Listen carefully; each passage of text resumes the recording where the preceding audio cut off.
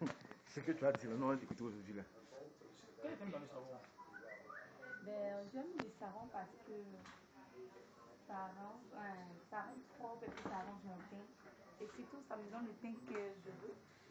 Par exemple, si je vais, si je vais être clair comme ça, je prends une carotte, le miel, ça peut nettoyer, puis le carotte, ça, ça me rend clair. Clair, bien chic. Il y a, il y en a combien de, a combien de, façons, combien de gammes Il y a citron, Citron, le miel le miel, et il y a carotte. la carotte. Le citron, c'est quoi Le citron, le citron, pour commencer, le citron, ça peut nettoyer bien la peau, enlever les petites taches. Le miel, le miel, c'est pas adoucir ta peau. Et le carotte, La carotte. La la, carotte. la carotte plutôt. La carotte, c'est c'est c'est pour c'est pour rendre le teint bling